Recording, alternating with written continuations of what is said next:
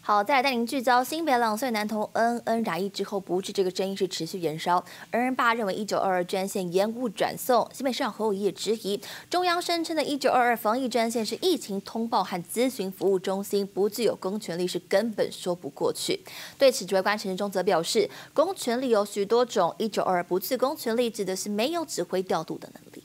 真的不知道打一九二二到底能够帮什么忙？要中央讲清楚。新北市长侯友谊为了恩恩事件，再度向指挥中心喊话。一九二二两年多来，在所有的民众的认知底下，就是防疫专线。突然你告诉民众说这个没有公权力，就完全颠覆民众的想法。连侯市长都不知道，那真的是没有办法。好，那当然，大家对于这种公权力的解释说法有很多种，但我们讲的是说，是不是直接有指挥权、有调度权的意思？反批侯友谊不清楚公权力的定义，尽管指挥中心已经多次强调一九二二不具调度能力，但是记者会上，国民党拿出疾管署广告，更紧咬卫福部新闻稿，声称一九二二专线有相关应作为和后送功能，痛批陈时中睁眼说瞎话。陈时中部长并不是国人。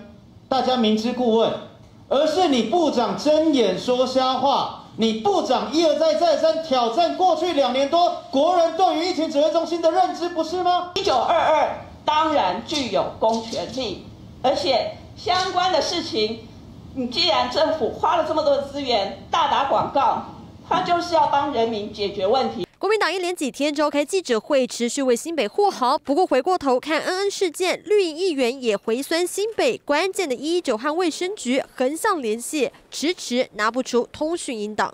一一九跟卫生局横向联系失败，卫生局找不到人，没有人在岗位上，造成八十一分钟的这个恩恩没有办法及时送医，这是很大的错误。请侯市长还是要面对自己的过错，要是否不要再掩饰纠结在一九二二的公权力。恩恩案如今演变成蓝绿政治攻防，也失去原先焦点。借新北综合报道。